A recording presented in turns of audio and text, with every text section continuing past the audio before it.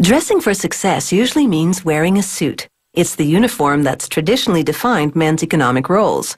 And as women have achieved success in the work world, they've done so in their power suits. The basics of the suit have been unaltered for over a century. A jacket and trousers or skirt. It's a look that's never out of style.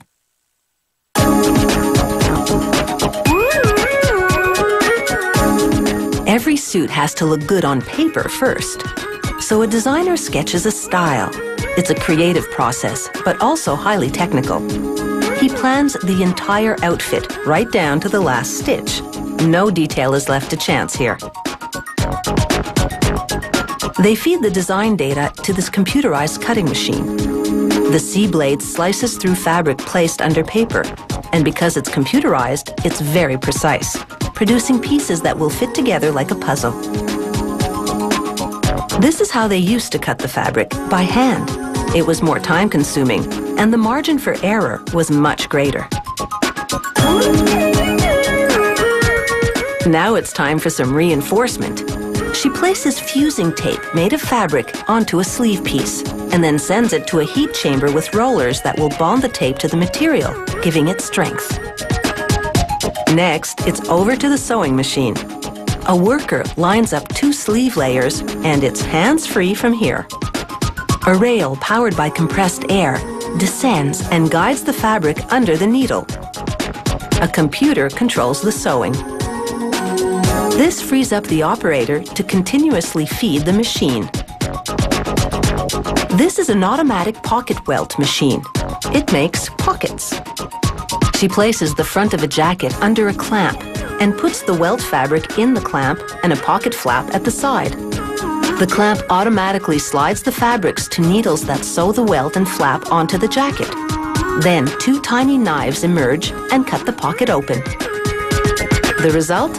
a precisely made pocket, completely by automation. The only human involvement is to feed the machine and then collect the finished product. Now, over at another station, an operator irons fusible tape onto the open seams. This stabilizes them and gives them a crisp finish. A worker places the front of the jacket on a headless mannequin called a buck. A hot metal press moves in and the pressing reshapes the jacket to the contours of the buck. Now, she puts a sleeveless jacket on another buck and tucks a shoulder pad underneath. She presses a pedal to activate the machine, and the hot presses lower, melting the glue on the shoulder pad, which fuses it to the jacket. Now things are about to get really steamy.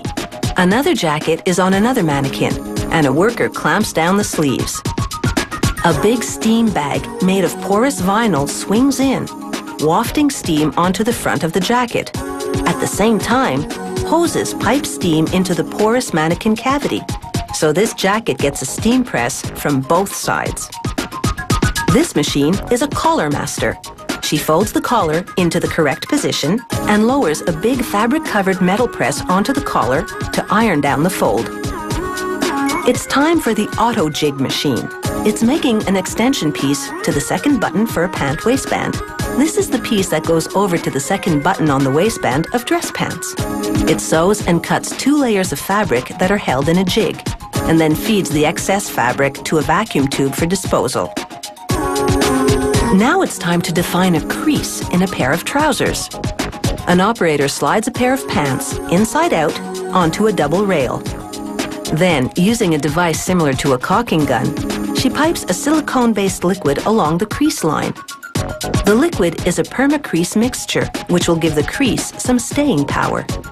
There's also a nib on the end of this gun, which sharpens the crease.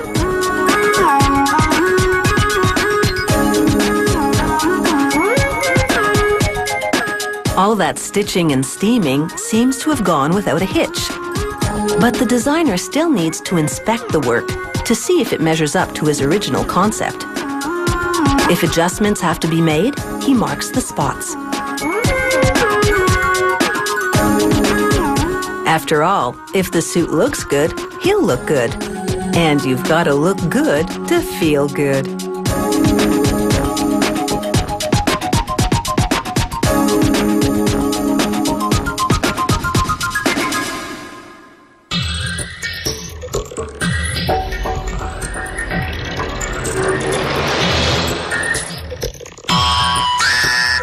If you have any comments about the show, or if you'd like to suggest topics for future shows, drop us a line at www.howitismade.net.